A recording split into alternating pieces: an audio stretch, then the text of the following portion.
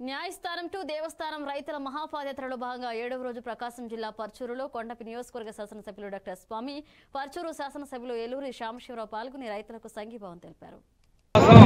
జగన్మోహన్ రెడ్డి కుయుక్తులు పన్నాడు.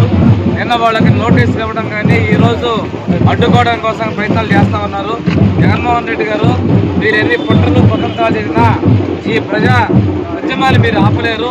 ఈరోజు ఈ కోర్టు నిబంధనల ప్రకారమే ప్రజా పాదయాత్ర మహాపాదయాత్ర జరుగుతూ ఉంది.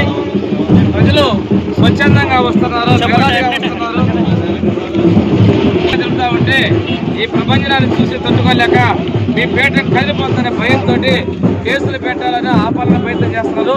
ఎట్టి పరిస్థితుల్లో జరుగుతుంది మహా ఉద్యమం లాగా జరుగుతూ ఉంది.